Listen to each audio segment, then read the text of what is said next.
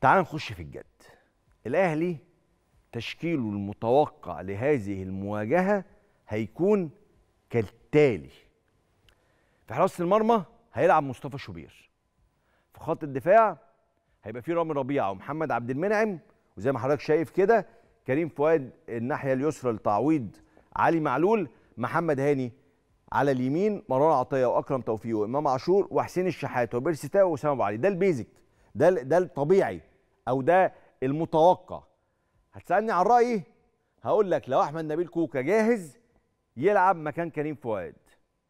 لو هتسألني عن رأيي أقول لك أحب محمد مجدي قفشه يبدأ هذه المواجهة بدلا من أكرم توفيق. ده رأيي.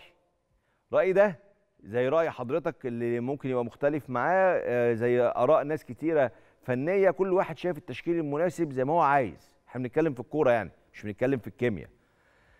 بس الراجل مارسيل كولر هو اللي شايف اللعيبة عاملة إزاي هو اللي عنده طريقة لعب هو اللي عنده أفكار هو اللي عنده طرق هجومية وطرق دفاعية هو اللي هيجي يقول لك والله أنا أحب ألعب بأحمد نبيل كوكا عشان تبقى على عدلته فده هيسهل مهمة إمام عاشور شوية مع حسين الشحات الجبهة اليسرى القوية دي اللي كان بيبقى فيها علي معلول ممكن يلاعب كوكا.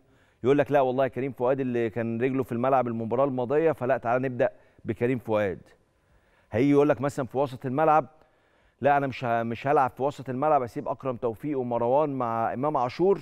وممكن يقول لك لا والله أنا ممكن أبقى محتاج محمد مجدي قفشة في المباراة ديت عشان الترجي بطبيعة الحال يبقى متكدر جدا دفاعيا فهبقى محتاج حد يفك التكتلات الدفاعية دي فقفشة ممكن يبقى له دور كل ده هيشوفه وهيفكر فيه وهيدرس المنافس بشكل كويس مارسيل كولر.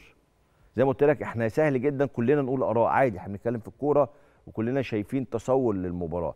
بس الراجل هو اللي هيشتغل وإن شاء الله معاه ومع لعيبة رجالة بإذن الله موهوبة مميزة عندها خبرات عظيمة جدا يقدروا بإذن الله يحققوا دوري أبطال أفريقيا يوم السبت القادم إن شاء الله. طيب.